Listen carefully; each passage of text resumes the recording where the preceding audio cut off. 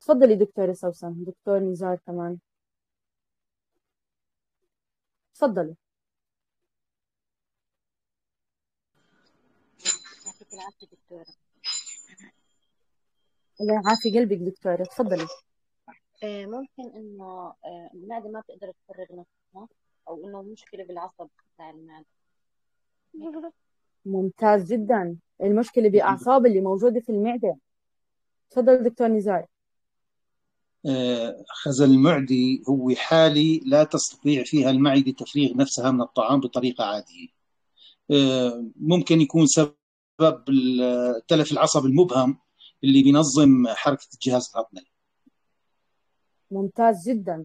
فعلا هي هاي المعلومة بالضبط وحرفيا اللي كنت أحكيها نفس اللي حكتها دكتورة سوسن وحكاها دكتور نزار أن خزلان المعدة بالعادة المعدة يصعب عليها تفريغ ما بداخلها.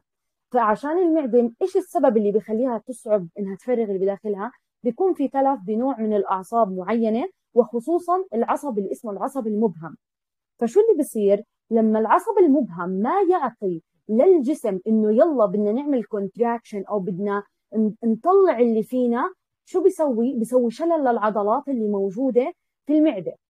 نتيجه عدم إنه ما في أمر. إحنا بنعرف إنه الأعصاب هي اللي بتعطي الأمر من الدماغ للجسم عشان الجسم ينفذ العملية اللي بده ينفذها. فإذا ما إجت هذا الأمر من الدماغ لأنه العصب خربان شو بده يصير عندي؟ زي شلل في الأعضاء. فما رح تقدر هاي العضلات تعمل contraction وتطلع وتفرغ اللي فيها. هذا هو بالضبط مرض خزلان المعدة. طيب فأنا كثير بنستخدم كثير بنستخدم الدومبيرادون كعلاج الأعراض تمام؟ مش علاج أساسي لخزلان المعدة. لأنه لا يؤثر على الأعصاب بطريقة أساسية ولكن هو بيعالج الأعراض المصاحبة لمرض خزلان المعدة. طيب كثير كثير كثير أكثر الأشخاص المصابين بمرض خزلان المعدة مين بيعرف مين هم أكثر الأشخاص؟ دكتورة الرضع أو حديثي الولادة يعني. أوكي لا. أتوقع دكتورة روان خربطت بين الارتجاع المريئي وخزلان المعدة. ارتجاع مريئي آه يصاب فيه الأطفال بشدة. بس آه خزلان المعدة عادة بده شخص كبير كثير بالعمر. ممكن اللي المصابون بالسكري دكتورة؟ بالضبط. المصابين بالسكري هم أكثر عرضة لإنهم يكون معهم آه، مرض آه، خز- خذلان المعدة أو خذال المعدة. لإنه آه، المصابين بالسكري بالعادة بيكون أصلا ال contraction اللي بتصير في المعدة عندهم قليلة. تمام؟ تمام. فأنا هيك صار عندي. إذا بنلخص المعلومات اللي صرنا حكيناها من أول المحاضرة. إنه آه، دواء ال domperidone هو دواء يستخدم بشدة لعلاج لأنه بيزيد من آه، حركة وتقلصات الأمعاء والمعدة فبيعالج لي ال nausea وبيعالج لي ال vomiting كمان حكينا إنه هذا الدواء بخص بالاستخدام للناس اللي بياخذوا أدوية باركنسون لأنه الأدوية اللي بت- بتنعطى مع باركنسون بتزيد من ال vomiting فهو بيخفف من أعراض القيء اللي بتصاحب هاي الأدوية. وأي دواء ثاني غير الأدوية اللي راح أخصهم وأحكي لكم except هدول الأدوية لا تعطوهم مع ال domperidone هو كمان بقدر أعطيه إذا كان من ال side effect تبعه قيء عادي أعطوا domperidone معه. تمام؟ اتفقنا إنه category C للحامل ما رح نعطيه للحامل تمام؟ في إشي أهم وأحلى وأضمن ممكن أعطيه للحامل حنحكي عنه. كمان اتفقنا إنه آه، بخفف من الأعراض المصاحبة لمرض خزلان المعدة اللي بيصيب الأشخاص المصابين بالسكري. كمان بخفف من أعراض التهاب المعدة. والتهاب المعدة شيء كثير مؤلم. فهو الدومبيرادون عادة لما يصير حدا عنده التهاب في المعدة بصير عنده استفراغ تلقائيا. لأنه الجسم عم بيحاول يعطي أي ردة فعل إنه في هون مشكلة. فردة الفعل هاي بتكون عن طريق الاستفراغ. فبالإضافة للعلاجات الأخرى اللي حطع... اللي حاعطيها مع التهاب المعدة حنعطي الدومبيرادون. طيب شو كمان حأستخدم الدومبيرادون؟ بدي أسألكم سؤال. الدومبيرادون بيستخدم للقولون العصبي. يمكن ما ندر من الصيادله يعرفوا انه الدومبيرادون ممكن أستخدمه مش لعلاج القولون العصبي لتخفيف الأعراض التي تصاحب القولون العصبي. طب شو هي الجرعة اللي ممكن أستخدمها خصيصا للقولون العصبي وحتى يخفف من الأعراض التي تصاحب القولون العصبي؟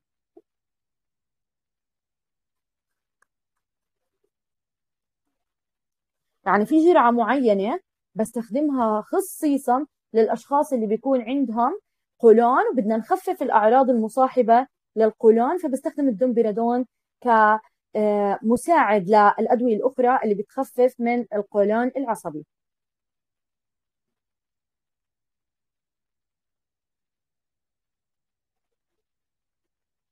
تمام أوكي. الجرعة اللي بدي اعطيها للأشخاص اللي بيكون عندهم قولون عصبي وبدي أخفف من أعراض القولون العصبي اللي بتكون موجودة عندهم من الدومبيرادون حأعطيهم جرعة 20 ملي جرام ولو أعطيتهم جرعة 10 ملي جرام برضه حتعطي effect. فمعي من 10 ل 20 ملي جرام بالكثير أكثر شيء أربع مرات باليوم. خلينا نحاول ما نتعدى الأربع مرات. هسا لو أعطينا العلاج 10 ملي جرام أو 20 ملي جرام ثلاث مرات باليوم بيكون ممتاز. بس إذا ما أعطى وما جاوب مع المريض بإمكاني إني أزيد لأربع مرات باليوم. فأكثر جرعة بقدر أعطيه إياها أربع مرات باليوم. خلونا نحاول ما نتعدى أربع مرات باليوم من 10 ل 20 ملي جرام من هذا الدواء. طيب كيف بدي أعطي الدواء الدومبيرادون خصيصا للأشخاص اللي عندهم قولون عشان يعالج الأعراض المصاحبة للقولون؟ في العادة الدومبيرادون بعطيه قبل الأكل ب 30 دقيقة ولكن الأشخاص اللي عندهم قولون الأفضل إني أعطيهم إياه قبل الأكل ب 15 دقيقة عشان يعطي effect أكبر ويعني يعطيني مفعول ويكون له power أعلى بالجسم. فبحاول بالعادة أعطيه قبل 15 دقيقة من إيش؟ الطعام. طيب أه لحديت الآن الأمور واضحة عن ال domperidone؟ في حدا عنده أي سؤال؟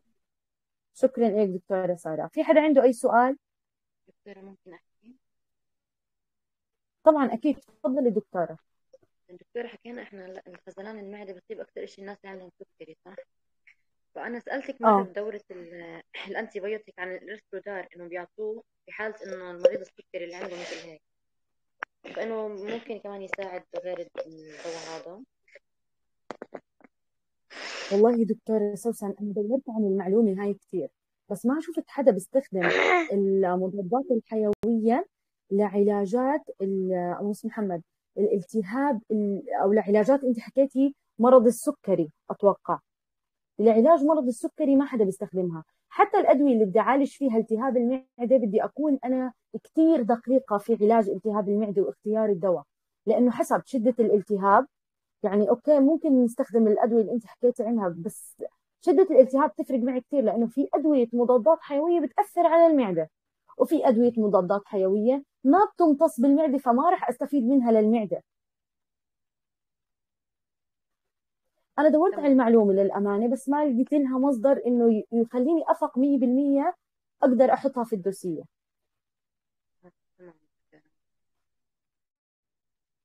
تمام دكتورة سوسن؟ يعني هسه في ناس حكوا إنه آه بس أنا ما شفت شيء على الكتاب. في ناس قالوا لي لا مستحيل هذا الكلام. فأنا ما فيش عندي مصدر موثوق للمعلومة مش هيك ما راح أقدر أعطيهم إياها.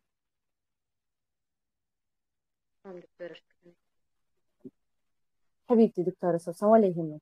تمام. على هيك صار عندي أبرز استخدامات الدومبيرادون. هم مريض قولون مريض قولون حأعطيه domperidone مع أدوية القولون هو كثير بخفف كثير كثير بعطيه إياها 10 ل 20 ملي جرام قبل الأكل ب 15 دقيقة. معي لحد أربع مرات باليوم. تمام. شو كمان ممكن أستخدمها للأشخاص اللي باخذوا أدوية باركنسون؟ أدوية باركنسون كثير بتعمل تقيؤ ممكن أستخدم لهم إياها. طيب شو هي الأشياء اللي ممنوع أستخدم معاها ال domperidone؟ الأشياء اللي ممنوع أستخدم معاها الدومبيرادون أول إشي حدا عنده ثقوب بالمعدة. اللي إحنا بنسميها قرحة معدة. قرحة المعدة لا يستخدم معاها الدومبيرادون. حدا عنده نزيف في الأمعاء ما راح أستخدم له الدومبيرادون. إذا مرأة عاملة عملية قيصرية لا تكتبوا لها الدومبيرادون ليش؟ لأنه هاي الأدوية هسا اللي عاملة عملية قيصرية بالعادة أنا بحب أركز عليها لأنه كثير مليان بيجينا حالات على الصيدلية منها. بالعادة اللي بتكون عاملة عملية قيصرية أول إشي إحنا فتحنا سبع طبقات في البطن. صار البطن هش جدا. لما أنا أعطي ال domperidone حيزيد من ال contraction تبعت المعدة. تمام؟ زيادة ال contraction تبعت المعدة هاي حتسبب ألم شديد جدا للمرأة اللي عاملة عملية قيصرية أو لأي حدا فاتح بطنه لأي عملية كانت. فعشان هيك تجنبوا إعطاء الدومبيرادون لهدول الأشخاص لأنه فعلا الألم مميت عن جد. مرات اللي بيكونوا فاتحين بطنهم أو عاملين عملية قيصرية كحة ما بيقدروا يكحوا. فالدومبيرادون حيزيد من إيش؟ من الكونتراكشن اللي موجود في المعدة والأمعاء. فالالم حيكون شديد على الأشخاص اللي عاملين عمليات في بطنهم. فما رح نعطيهم لأي شخص عامل عملية في بطنه ما رح نعطيهم للنساء خصيصا اللي عاملين عمليات قيصرية. أي شخص عنده ثقوب أو قرحة بالمعدة حأستبعد ال domperidone من علاجاتي. ما رح أعطيهم للناس اللي باخذوا الكيتوكونازول لأنه عندنا drug drug interaction بين ال domperidone والكيتوكينازول ما رح نعطيهم مع بعض. ما رح أعطيه لأقل من 12 سنة. كثير شفت بالصيدليه بوصفوا لأشخاص أقل من 12 سنة. domperidone بهدف إنه في منه والله يا دكتورة suspension يعني. ليش انت ما بتصرفيه للصغار؟ طب okay يا جماعة في منه suspension آه في كثير أدوية في منها suspension بقدر أعطيها للأطفال. إيش ما كانت؟ أضرب أطرح يلا أعطي المهم أطلع ال near expire اللي عندي. لا يا جماعة ال domperidone لأقل من 12 سنة لا تعطوه لا تعطوه لا تعطوه لا تعطوه كثير بشوف ناس بصرفوا Motilat لطفل عمره شهرين.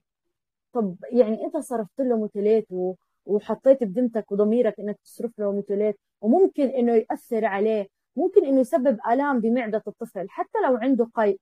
ممكن يكون القيء من نوع الحليب اللي بيستخدمه هذا الطفل. ممكن الحليب لازم أخلي له إياه حليب نوع ثاني فمش كل شيء على طول بصرف آه، متلف. إذا إجاني بوصفه طبية خلص تمام أوكي. بيكون الطبيب عامل فحوصات اللازمة. إحنا مش لأنه كصياد لأنه ما بنعرف متى نوصفها لا. لأنه في فحوصات إحنا ما بنقدر نعملها. في فحوصات بدها مختبر بدها طبيب بدها أجهزة هي مش موجودة عندنا في الصيدلية. فبس عشان هيك الأفضل إنه ما نعطيه لأقل من 12 سنة مريض كبد لا تعطوه إلا لما يجيكم فحوصات الكبد لأنه بيأثر على الكبد كثير إجتكم فحوصات الكبد اصرفوا لمريض كبد. اموره تمام الإنزيمات عنده في الكبد شغالة وأمورها 100 100 اصرفوا. لأنه بخاف إنه يكون المريض إنزيمات الكبد عنده مش تمام شغالة ويضل يتراكم الدواء في الجسم. وتخيلوا domperidone على domperidone على domperidone جرعة جرعة جرعة ما راح تطلع برا الجسم. حنفوت ب toxicity حنفوت في contraction للمعدة بزياده وحنفوت بمشاكل إحنا بغنى عنها. طيب أوكي. ما رح نعطيه لمرض لمرضى الكبد. إيه كمان ما رح أعطيه لأي امرأة عندها سرطان ثدي أو عندها تاريخ مسبق لسرطان الثدي. تمام؟ لأنه بيزيد من احتمالية وجود سرطان الثدي. في معلومة كثير مهمة. أي شخص أي شخص أي شخص أي شخص أكبر من 60 سنة لا تعطوا الأدوية. لأنه عادة الأكبر من 60 سنة أكيد عندهم مشاكل في القلب. تمام؟ فاللي عنده مشاكل في القلب عادة الدومبيرادون بيزيد وبيخربط من نبضات القلب. يعني أوقات بنلاقيه زاد من ضربات القلب أوقات ثانية بنلاقيه قلل من ضربات القلب. بس في معظم الأحيان هو بيزيد ضربات القلب. فحاولوا إذا الشخص أكبر من 60 سنة وعنده مشاكل صحية كثير عنده ضغط باخذ أدوية قلب باخذ أدوية ضغط وهاي الأمور كلياتها حاولوا إنكم ما تعطوه الدومبيرادون طيب. إيه اللهم صل سيدنا محمد. إيه ما راح أعطيه لمرضى السكري. لأنه يحتوي على اللاكتوز. ال domperidone ما بعطيه لمرضى السكري بتاتا اطلاقا لأنه يحتوي على ال domperidone بس الأشخاص عشان ما يصير خربطة بالمعلومات الأشخاص اللي صار عندهم خزلان في المعدة نتيجة السكري بقدر أعطيهم ال domperidone بس إنه أنا أعطيه لمريض سكري لساته حاليا مريض سكري ومش مسيطرين على الوضع والسكري بيرتفع عنده كثير أو بنزل عنده كثير ما رح أعطيه تمام؟ ما رح أعطيه مع ال erythromycin. ال erythromycin ما بعطي معاه ال domperidone. تمام؟ آه كمان ما رح اعطيه مع أي أدوية فيروسية ما رح أعطيه مع أدوية بنسميها آه بالصيدلية بنسميها أدوية تنشيف الحليب. أو هي اللي هي أدوية اللهم صل على سيدنا محمد بنسميها مضادات البرولاكتين ممنوع أستخدم الدومبيرادون مع مضادات البرولاكتين النساء اللي عندهم ارتفاع في البرولاكتين ممنوع أعطيهم إياه. مين يحكي لي شو هو البرولاكتين ويعني إيش بالصيدلية أبرز استخدامات البرولاكتين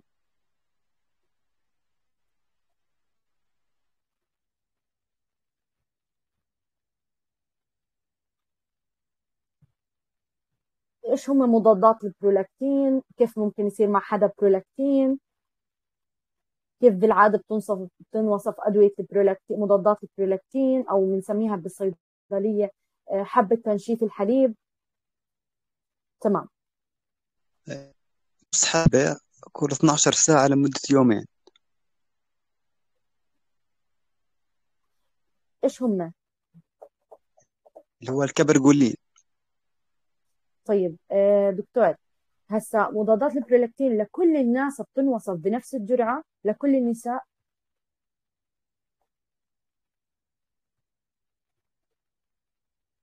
يعني دائما حنعطيها لكل النساء بالجرعة اللي انت حكيت عنها يوم بعد يوم أو كيف لا لا لا لا لا, لا. طبعا لا بس هي بالعادة هيك بيعطوها. ك most common.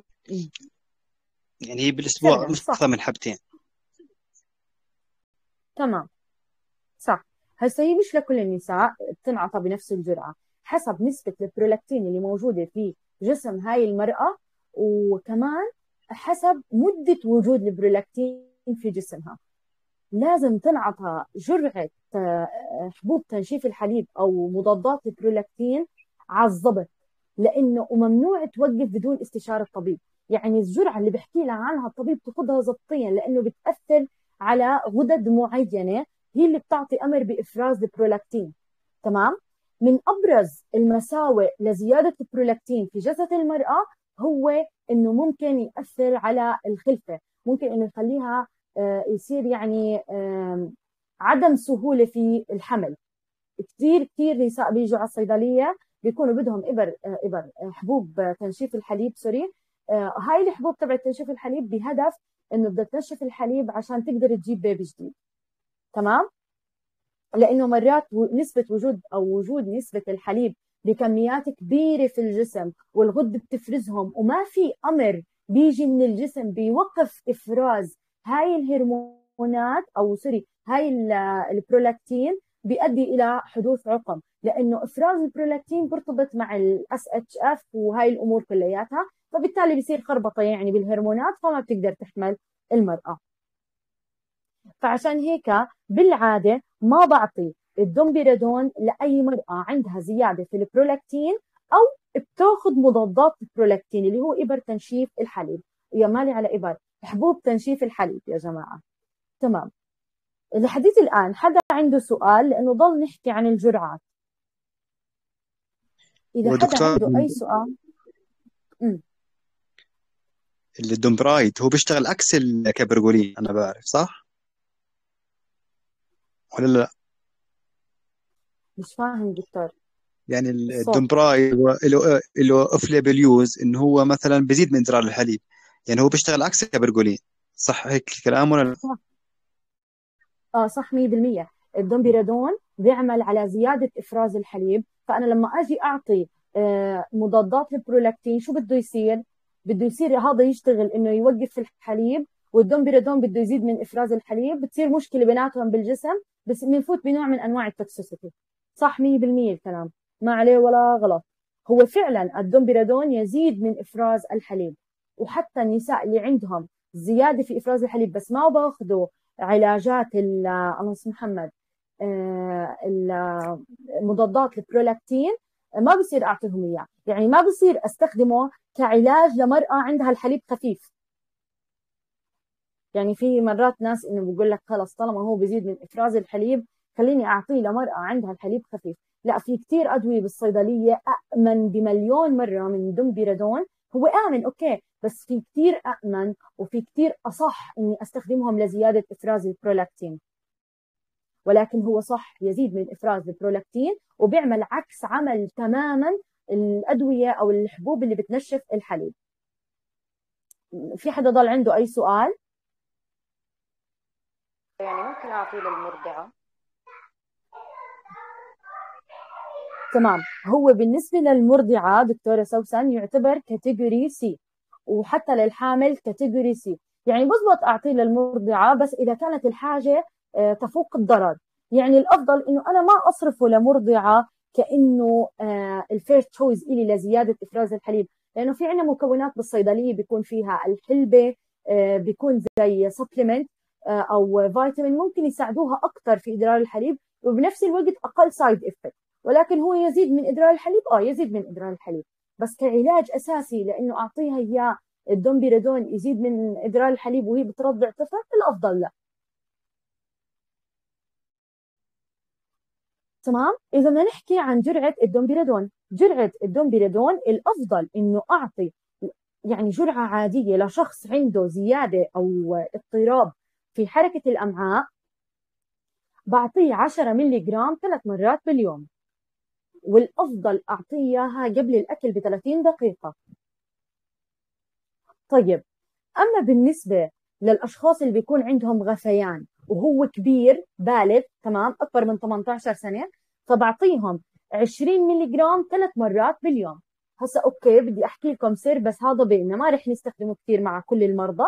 بقدر أعطي لحد ثلاث مرات آه sorry لحد أربع مرات باليوم بس الأفضل تضلكم بال safe side وتعطوا ثلاث مرات. بس لو أعطيتوا أربع مرات أنتم ما بتضروا المريض. يعني في حال ما اعطت نتيجة الثلاث مرات بإمكانكم تزيدوها لأربع مرات. ما في أي ضرر. تمام؟ آه وجرعة الغثيان بتكون 20 ملي جرام بينما جرعة القولون العصبي بقدر اعطيه من 10 ل 20 ملي جرام يعني بقدر أنوع بالجرعة 10 أو 20 أما بالنسبة للناس اللي عندهم مشاكل في حركة الجهاز الهضمي فبعطيهم جرعة 10 ملي جرام ثلاث مرات باليوم. طيب والأطفال اللي بيكون عمرهم أكثر من 12 سنة بين 12 و 18 مين بيعرف شو الجرعة اللي بدنا نعطيها إياهم؟ والله سهل كثير. كل المقابلات بنقدر نجاوبهم. أي شيء فيه مع الأطفال. بالمقابلة. ربع الوزن. أحمد. ربع الوزن ثلاث مرات باليوم ربع الوزن؟ آه ثلاث مرات في اليوم. اللي هو ال syrup الشراب. صح في منه suspension مش syrup. ما بيجي منه syrup هو بيجي بالأغلب suspension آه آه, آه نفس suspension نعم. آه. أها. تمام. شكرا لك دكتور أحمد. صح 100% ويعني بحال تهتوا بوزن الطفل بإمكانكم تعطوا 5 ملي جرام ثلاث مرات باليوم من ال domperidone تمام؟ إذا حدا عنده أي سؤال لأنه بدي أروح أفتح لكم على صور البدائل التجارية بإمكانكم إنكم تسألوا الآن.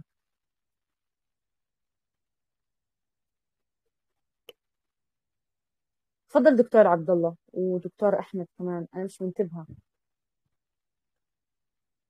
إذا حدا عنده أي سؤال بإمكانه يسأل. هي سمحت للجميع إنه يحكي. دكتور انت حكيت إنه ممكن نعطي مثلا آه، 10 ملي جرام أو 20 ملي جرام صح؟ ثلاث مرات باليوم. عفوا دكتور الصوت مش واضح. آه. حكيت إنه نقدر نعطيه 20 ملي جرام ثلاث مرات باليوم؟ نعم 20 ملي جرام ثلاث مرات باليوم نقدر. يعني هيك حبتين يعني ثلاث مرات باليوم صح؟ لأنه جرعته 10 بتيجي. لا. في منه أوكي حاجتين تمام في منه 20 لا ما في منه 20 ما أتوقع في منه 20 هو بس في منه 10 فبنعطيه حبتين إيه ما في منه 20 لا. أنا ما شفت صراحة ما بتذكر اني شفت بالصيدليه 20 يعني بس حبتين ثلاث مرات من في- آه حبتين ثلاث مرات باليوم ممكن آه والعشرة ملي جرام نعطيهم برضو ثلاث مرات باليوم يعني بيعتمد الموضوع على شدة ال- الألم اللي موجود في المعدة على شدة الغثيان على شدة مثلا القولون العصبي على شدة صعوبة حركة الأمعاء وعدم انتظامها. فكل ما زادت شدة الإشي حأضطر أعطيه عدد مرات أكثر ومعي لحد أربع مرات. تمام؟ بس إنه الأفضل إنه نعطيه ثلاث مرات باليوم 10 ملي جرام بس إذا كانت شديد كثير حأخلي حبتين زي ما أنت حكيت آه، ثلاث مرات باليوم. في حدا عنده أي سؤال قبل ما نروح للبدائل التجارية؟ تمام. البدائل التجارية خفيفة ولطيفة جدا من الدومبيرادون وأغلبكم شفتوهم بالصيدلية. على قد ما أدوية المعدة فيها كيسز وحالات كثيرة وأدوية الجهاز الهضمي بشكل عام على قد ما هي خفيفة على القلب بطريقة مش طبيعية وسهلة الحفظ ومرنة ويعني أس أسمائهم بتشبه بعض كثير فأول واحد بدنا نبلش فيه هو ال Motilium.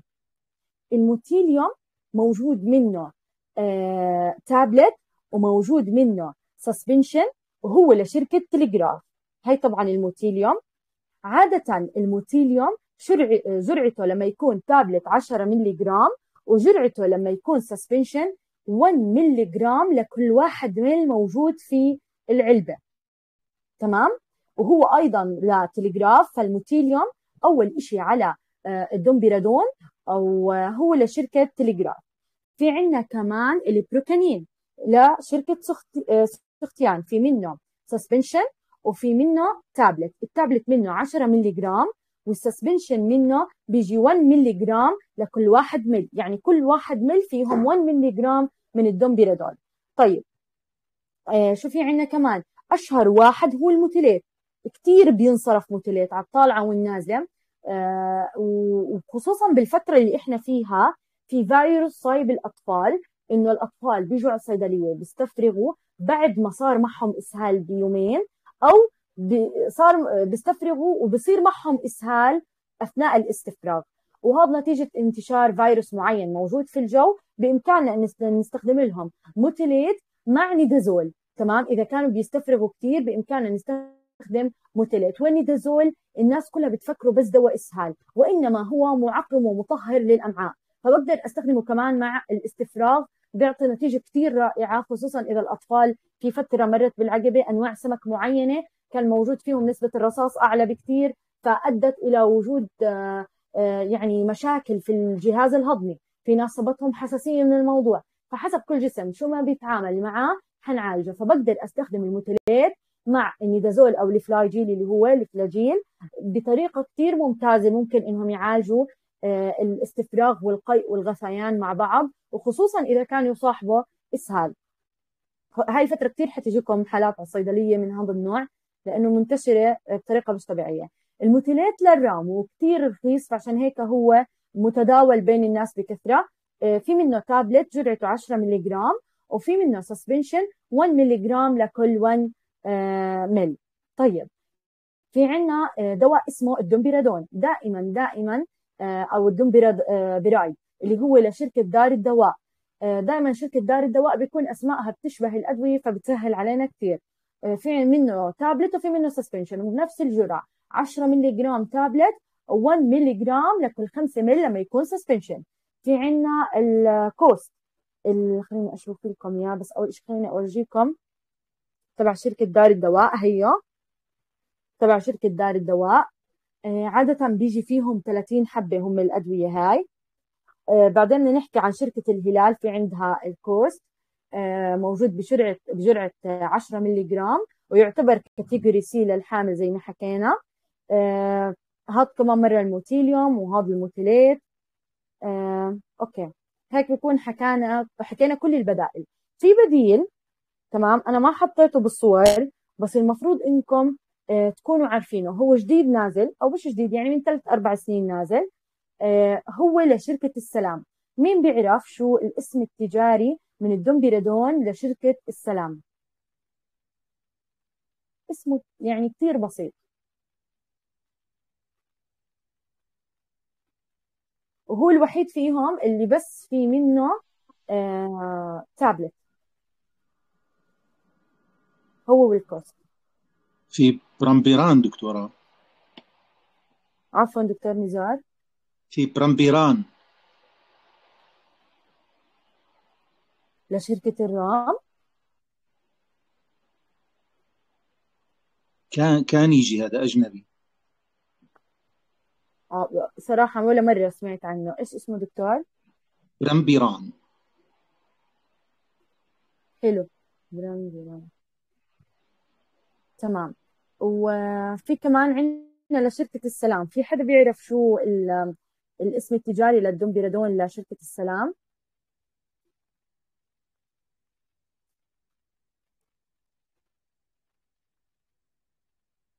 تمام اسمه Peridone وبس موجود منه تابلت جرعته 10 ملي جرام وهو لشركة السلام أو بنسميها JPM. طيب آه في حدا عنده سؤال؟ لأنه حنروح لاسم علمي جديد فقبل ما نروح للاسم العلمي الجديد بحب أتأكد إذا في حدا عنده سؤال بإمكانه إنه يسأل.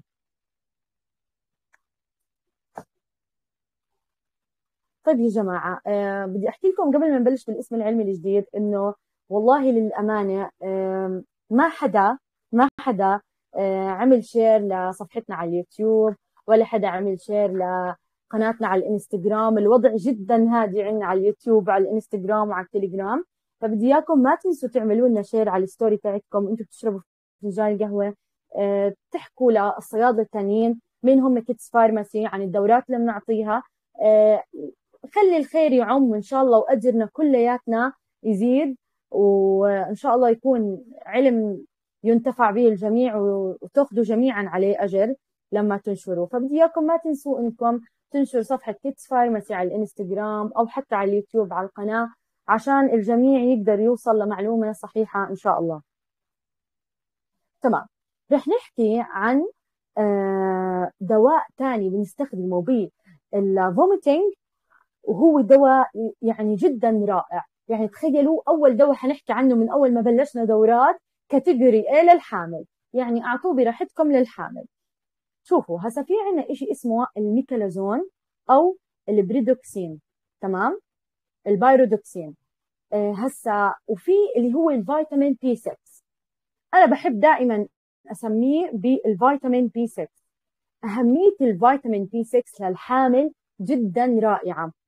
عادة عادة الأدوية اللي بتكون موجودة بتركيبة ال meclizine كمان ال pyridoxine وفيتامين B 6 بتكون اسم الدواء اللي هو ال Navidoxine.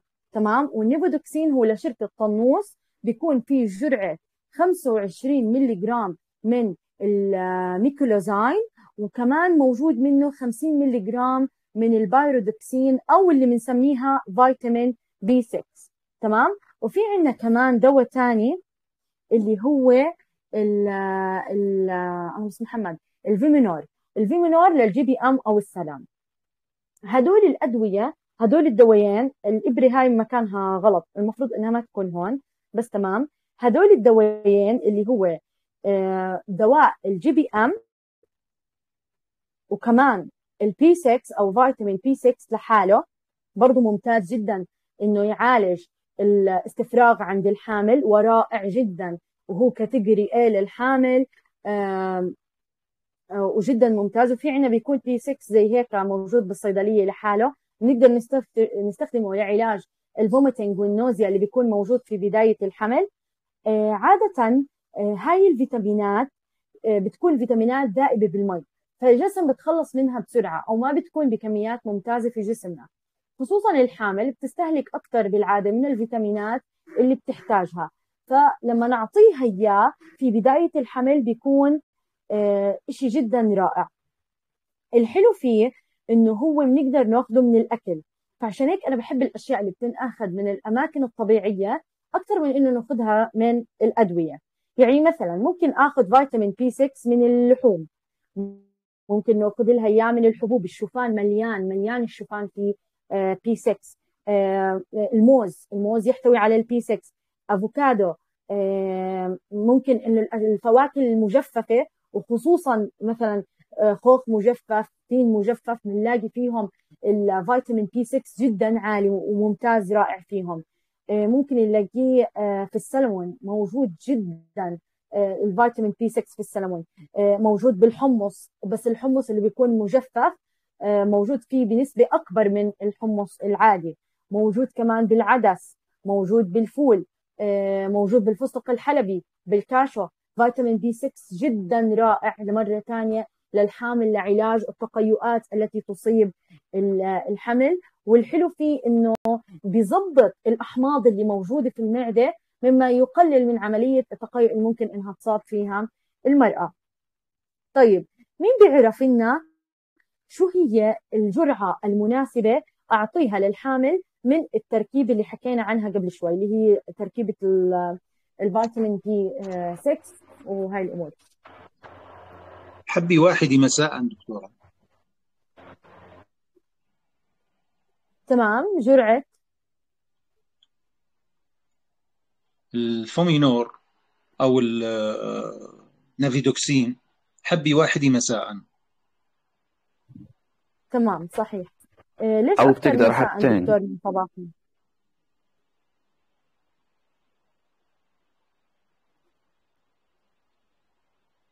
دكتور نزار أغلبك ليش أكثر مساء من صباحا لازم نعطيها الفيتامين بي 6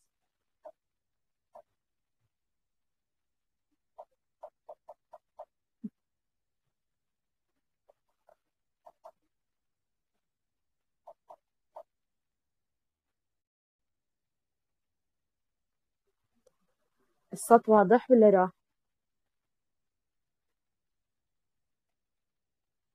دكتورة. واضح واضح دكتورة. تمام. تمام. آه، دكتور يمكن مساء لأن آه. يمكن عشان مادة الميكولوزين لأنه هي أصلا مضاد هيستامين فلازم تستعمل في المساء. ممتاز. ممتاز جدا يعني. الجواب اللي كنت حأحكيه رائع. فعلا هو على علشان مادة إنه تعتبر من زي أدوية الأنتيهستامين بيزيد فعاليتها بالليل أكثر من صباحا. بس صراحة أنا بعترض بفكرة إنه نعطيها حبتين. هسا الموضوع ما بين ما بينحكى حبة وحبتين هيك. بيعتمد الموضوع على أنا بستخدم لها فيتامين B 6 6 موجود يعني بس هذا العلبة شريتها فيتامين B 6 ولا بستخدمها مع آه، فيتامينات ثاني بيكون نسبة الفيتامين B 6 فيها أقل من باقي ال ال الأدوية اللي بتكون جاهزة. هسا في فرق بين لما أنا أعطي فيتامينات أكثر من فيتامين مع بعض بالدواء زي مثلا Centrum تمام؟ بيكون نسبة كل فيتامين أقل من لما أعطيه لا والله علبة فيتامين هاي فيتامين 6 خذ هاي الفيتامين أو والله هاي B 12 خذهم أو وهكذا. فبيختلف حسب آه، كمية وجرعة الدواء اللي موجودة والفيتامين اللي موجودة آه، في العلبة. ولكن إحنا عشان ننضمه في ال safe side تمام؟ رح أحكي لكم إنه بدنا نعطيها 1.2 ملي جرام مرة واحدة يوميا. تمام؟ بس إذا كنت عم بتعامل مع آه، أطفال تمام؟ إذا بدي أتعامل مع أطفال حأعطيهم خصوصا أطفال خلينا نحكي من أربع لثمان سنوات بدهم ياخذوا فيتامين B 6 حأعطيهم 0.6 ملي جرام من الدواء مرة واحدة باليوم مساء.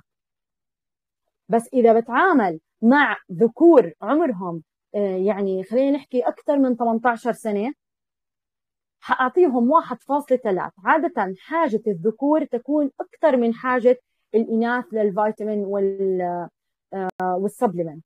فعشان هيك ذكور حاعطيهم 1.3 بينما إناث حأعطيهم إناث مش حامل طبعا أوكي؟ حأعطيهم 1.2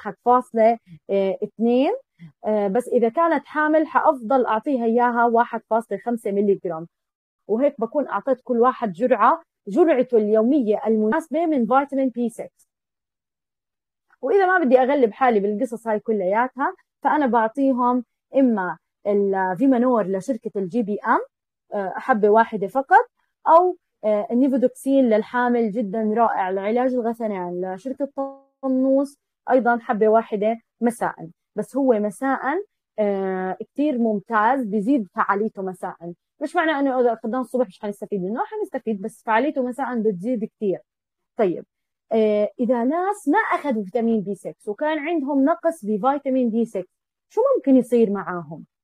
يعني شو أبرز الأعراض؟ يعني إحنا مثلا بنعرف إنه إذا حدا اجى حكى لنا بحس في دوخه في سواد تحت العين في سواد حوالين العين آه, آه، بنصح أو بنحف زيادة عن اللزوم. إذا عنده مثلا نقص حديد ححط احتمال.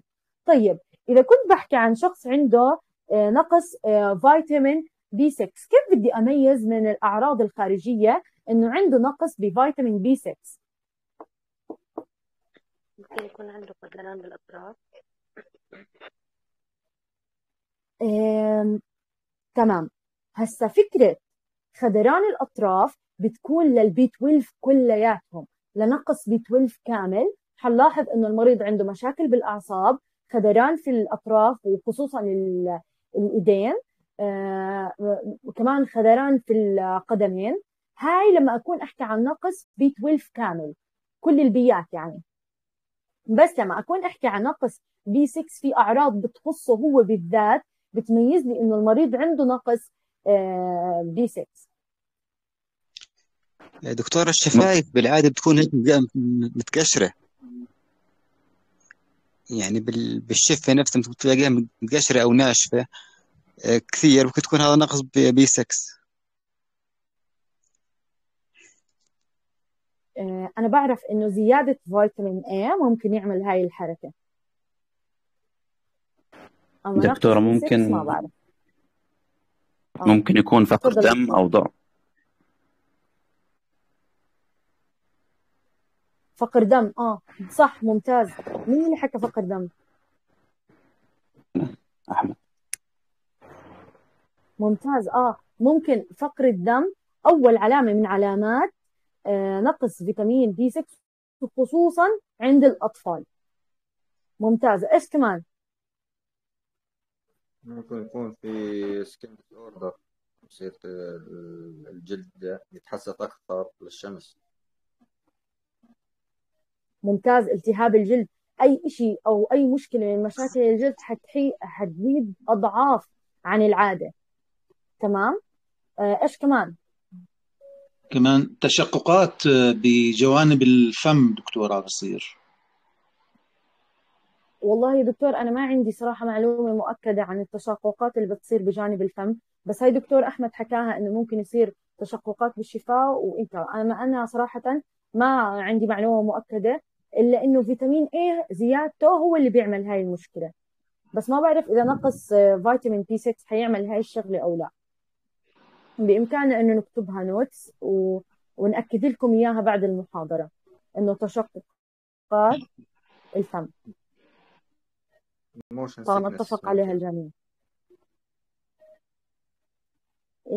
motion sickness ممكن motion sickness كمان كتير كتير حتأثر على المفاصل. حتأثر بما إنه دورتنا على الجهاز الهضمي حتأثر على الجهاز الهضمي بنسبة 95% حيقل عمل الجهاز الهضمي بطريقته الطبيعية. فحيصير عندنا مثلا أكثر شيء إمساك. حنلاحظ وجود إمساك. حنلاحظ الاكتئاب. المريض مكتئب دائما لأنه فيتامين بي 6 يحسن ويزيد من هرمونات السعادة. كمان حنلاحظ زي ما حكى دكتور أحمد في فقر دم. حيكون في عنده فتيك وتعب عام. كل هاي الأعراض تندرج تحت الأعراض التي ممكن إنه من خلالها نشخص المريض إنه روح افحص آه، إذا عندك نقص بي 6 أو لا. تمام. آه، في حدا عنده أي سؤال؟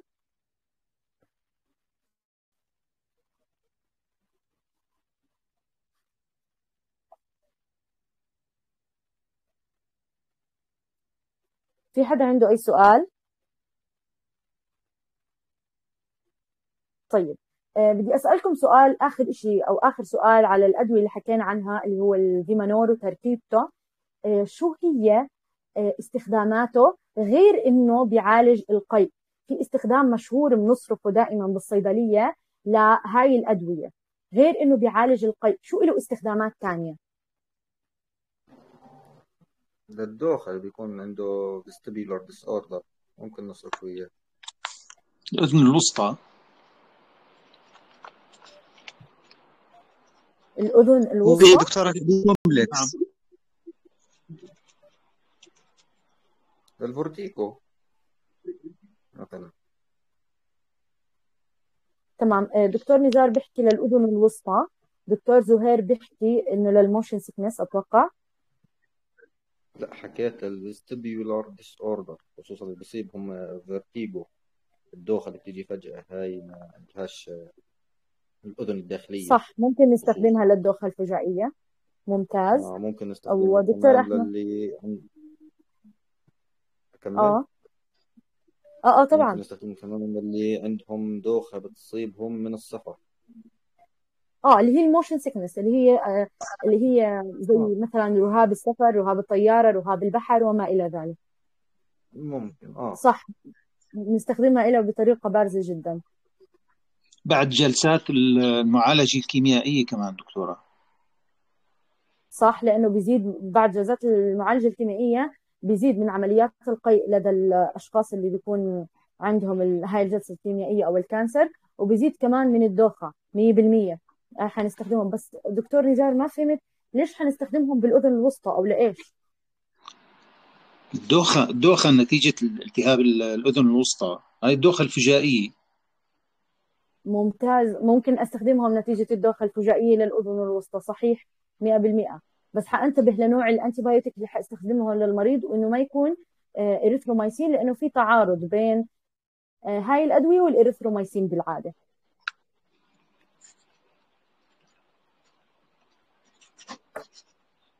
تمام. في حدا حابب يضيف أي معلومة؟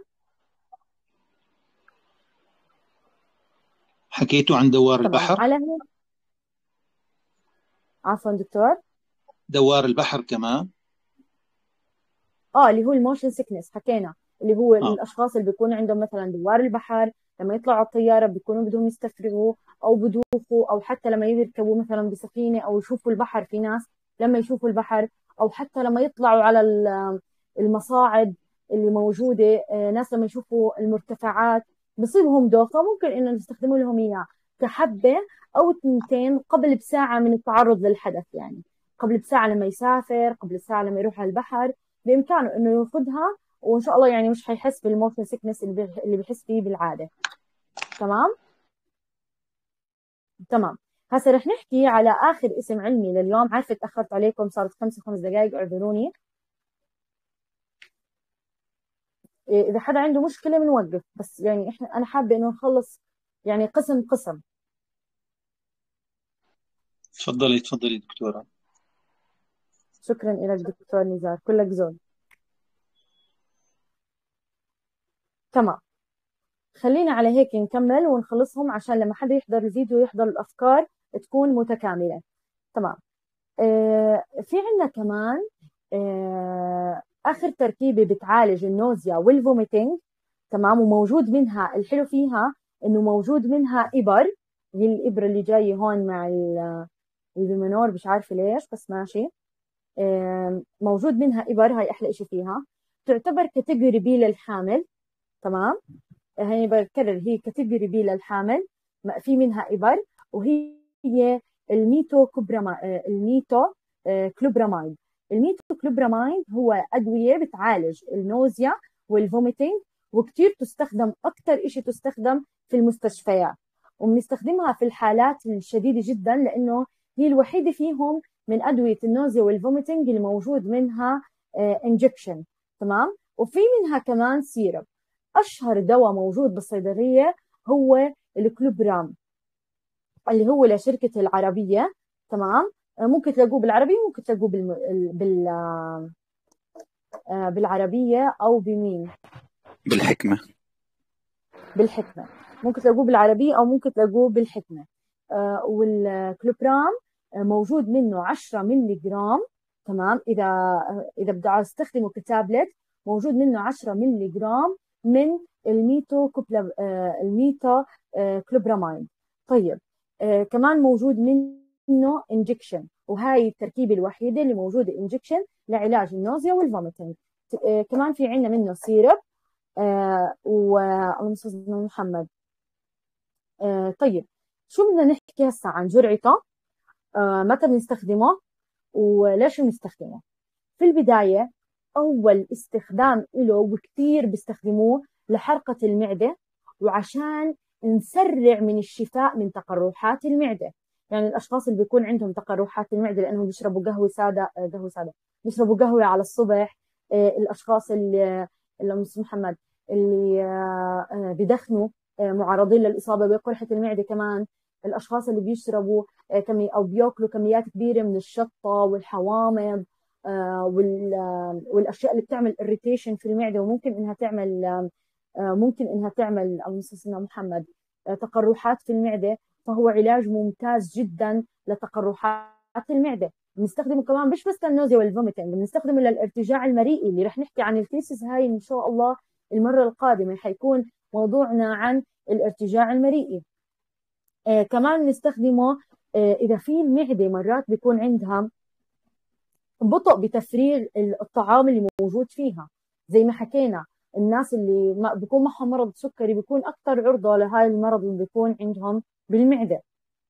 بس هذا بقدر أستخدمه مع أدوية السكري وما في مشكلة إن إذا استخدمناه مع أدوية السكري. وهذا الدواء هو أكثر استخدام للأشخاص اللي بيكونوا بيأخذوا علاج كيميائي. يعني أكثر أمان للأشخاص اللي بيأخذوا علاج كيميائي.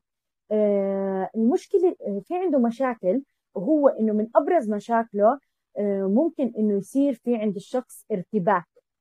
يعني الأشخاص اللي بيصير عندهم ارتباك على المسرح أو ارتباك قدام الناس أو تأتأة في الكلام الأفضل إني ما أعطيهم إياه لأنه بيزيد من هاي الحالة. كمان الأشخاص اللي بيكون عندهم دوخة أو بصيبهم دوخة من أقل شيء الأفضل إني ما أعطيه من هاي التركيبة. اللي بيكون عندهم مشاكل في النوم حيزيد من مشاكل النوم.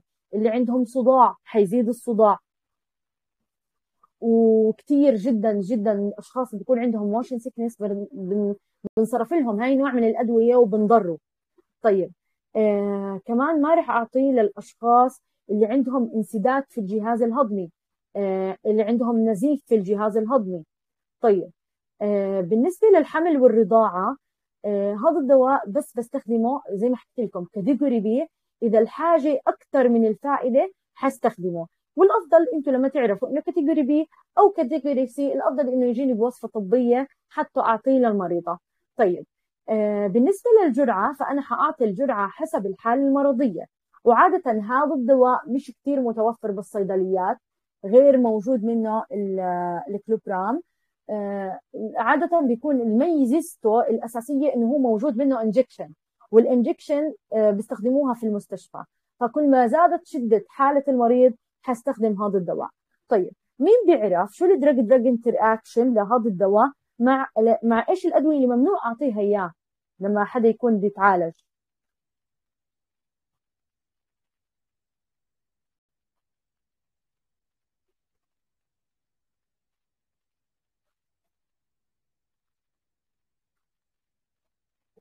في حدا بيعرف شو هي الأدوية اللي ممنوع أعطيها للمريض مع هاي التركيبة الكلوبرام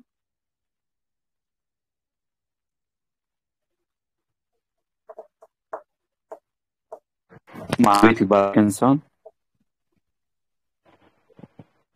مع إيش؟ أدوية الباركنسون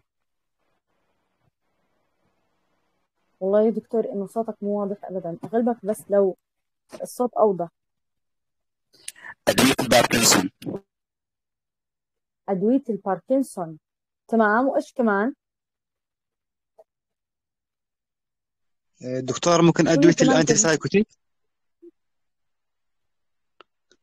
عفوا دكتور. ممكن ما بتأكد بس آه، أدوية ال- ال antipsychotic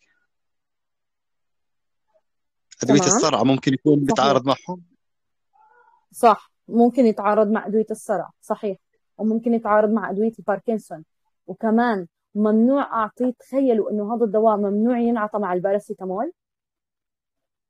قديش الباراسيتامول تافه؟ وبنحكي عادي يلا اصرفوه مع مين ما بدكم. بس هذا الدواء ممنوع أعطيه مع الباراسيتامول. مين بيعرف ليش ممنوع أعطيه مع الباراسيتامول؟ أنا بعارضك فيها الفكرة هاي دكتورة. تفضل دكتور ليش تعارضني؟ آه لأنه أنا بستخدمها مع الباراسيتامول عشان أعالج ال- أو أخفف من أعراض ال migraine. والله. آه صارت كثير في ال... عنا في الطوارئ ونعطيها حتى كمان من استخدامات الكلوبرام إنه برضه بتنفع ل ما بعرف إيه رقمها إيش بال... بال choice بس إنه بنستخدمها كمان للي عندهم hiccup أو بنسميها ال- الزقزيقة الزقزقة طيب حأعطي الكلوبرام مع يعني الباراسيتامول. لتخفيف أعراض ال migraine. بس مش كعلاج كتخفيف أعراضها. طيب وما صار side effect على المرضى؟ لا. من استخدامهم الاثنين سوا؟ إنه أنا بعرف إنه وجود الباراسيتامول مع هذا النوع من الأدوية بيزيد من ترسيب خصوصا إذا كان ال- التركيبة باخذها injection حيزيد من ترسيبها في الجسم. لا ما صار إشي. أنا بحكي لك من واقع اللي كنت أشوفه يعني. آه من فاهمة فاهمة. مستوعب الفكرة. آه، إنه يعني أنتم آه. بمستشفى ف يعني إذا استخدمتوه على مرضى كثير وما صار side effect ما بعرف صراحة. بس أنا كنت يعني بتذكر إنه من أبرز المخاطر أو التداخلات الدوائية لإله إنه مع الباراسيتامول ما بينعطى. حتى في يعني أكثر من موقع كاتب عن هاي الفكرة. تمام؟ كتاب Step Up Pharmacy كاتب عن الفكرة. فبما إنه أنتم جربتوها على الواقع يعني بيكون الدكتور عامل بطريقة معينة جرعات قرأت نسب معينة ممكن إنه ما قرأت عنها في الميدسكاب آه. تمام؟ هي إنه كآخر علاج. كآخر آه، خيار آه ممكن أستخدمه آه يعني تحت رعاية طبية أما بش عنا إحنا بالصيدلية ونصرفها. لا هسه بالصيدليات عم تركيب كانيولات وإعطاء إبر عن طريق الوريد ما بزبطش. مخالف. آه بس إنه حتى آه. كتركيب التابلت مع الباراسيتامول بالصيدلية الأفضل ما تنعطى. يعني لما أنتم تعطوها بالمستشفى بيكون تحت رعاية طبية وتحت فحوصات للكبد والكلى بطريقة مستمرة. أما لو أنا أعطيتها كصيدلاني بالصيدلية وأنا ما عندي فحوصات لهذا المريض للكبد والكلى تاعونه أنا ما بضمن شو أثرت عليه.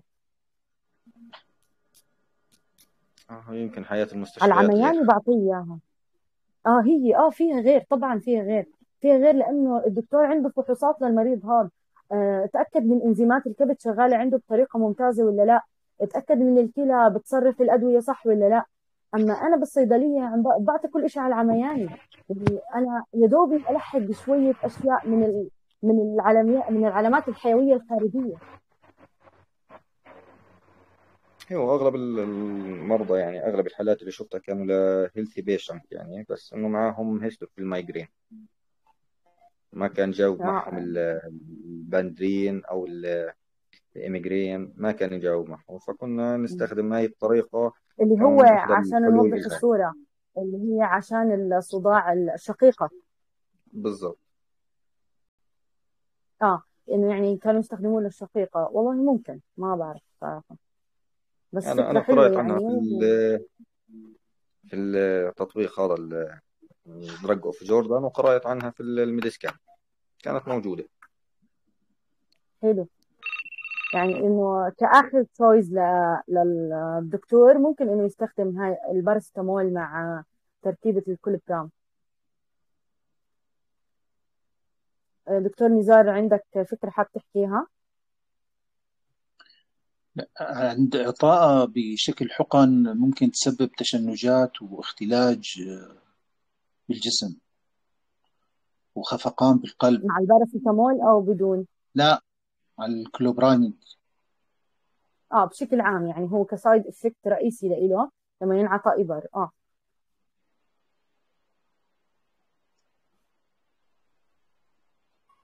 آم دكتورة عندي سؤال. تفضلي دكتورة.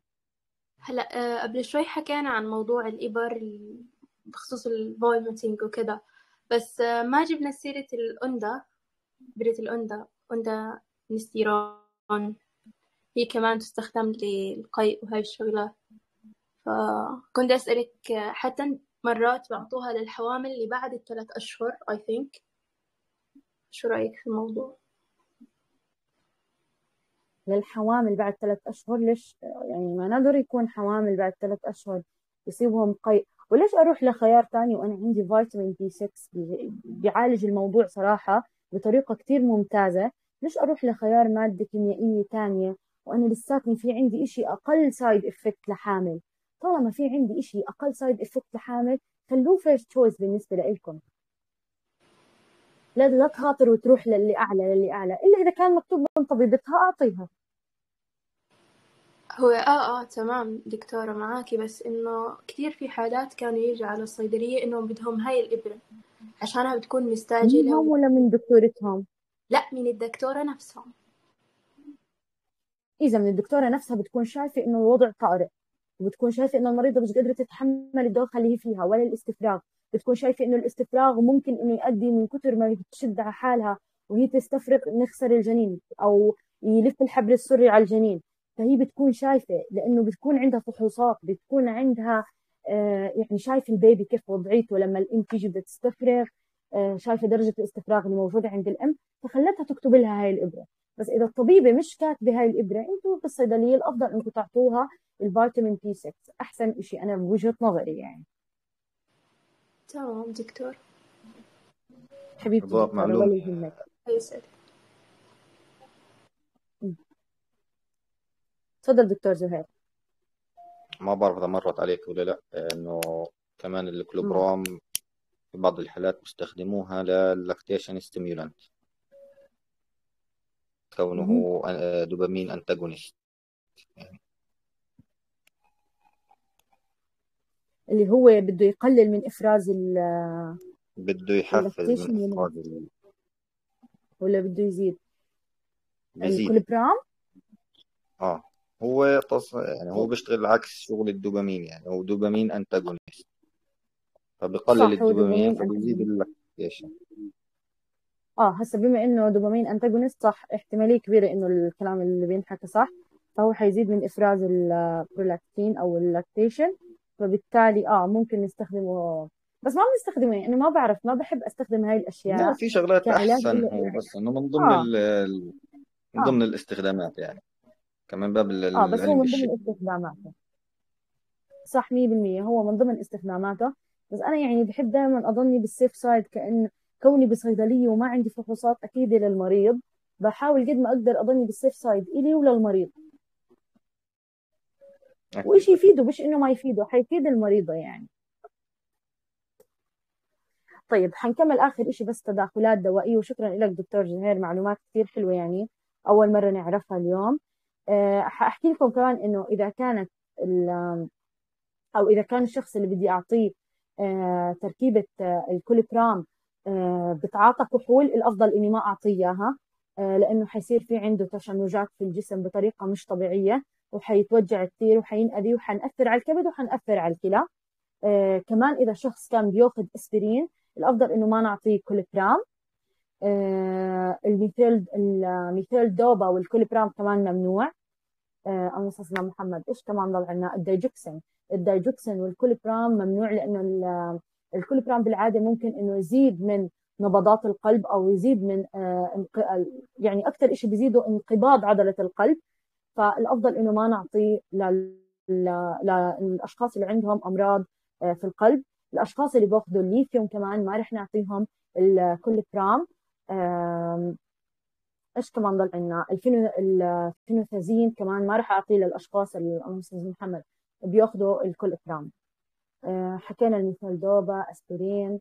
يعني هيك أتوقع حكينا كل ال drug drug interaction تاعونه الدايجوكسين ما رح نعطيه. تمام. على هيك إحنا يعني اليوم إن شاء الله خلصنا أول آه، محاضرة آه، في دورة ال digestive system بتمنى بتمنى انكم تكونوا استفدتوا. شكرا لكل الناس اللي شاركوا وأعطونا معلومات قيمة من عندهم. دكتورة سوسن آه، دكتور نزار دكتور زهير دكتور أحمد دكتور أحمد الثاني والله محمد دكتورة فرح رافعة إيدها بس أنا هسه انتبهت بعتذر. آه، وكمان آه، في عندنا دكتورة حنين. فشكرا لكم كلياتكم على مشاركتكم وعلى تفاعلكم. اللي بدي أطلبه منكم إنه ما تنسوا تعملوا لنا share على الإنستغرام ب story لطيف تحكوا عن الفيدباك تبع ال- المحاضرات والدورات اللي بنعطيهم. هذا الإشي بيساعدنا نوصل لعدد ناس أكبر وناس تانية توثق فينا. يعني أنتم جربتونا بأكثر من دورة شفتوا معلوماتنا آه، تأكدتوا إنه معلوماتنا الحمد لله رب العالمين مصادرها آه، حقيقية ومش هيك خيال ومن راسي بألف الحمد لله. فبتمنى إنكم تدعمونا سواء على اليوتيوب على الإنستغرام أو على التليجرام. وأي حدا عنده أي سؤال بامكانه إنه يسأل وسامحوني على أي تقصير. وطبعا في عنا محاضرة بعد بكرة هاي الدورة يوم بعد يوم. في عنا محاضرة بعد بكرة حنحكي فيها عن الارتجاع المريئي والأدوية اللي ممكن نستخدمها فيه وشو هي آه، أسباب الارتجاع المريء أو الارتداد المريئي. اللي عنده أي سؤال بإمكانه إنه يسأل. دكتورة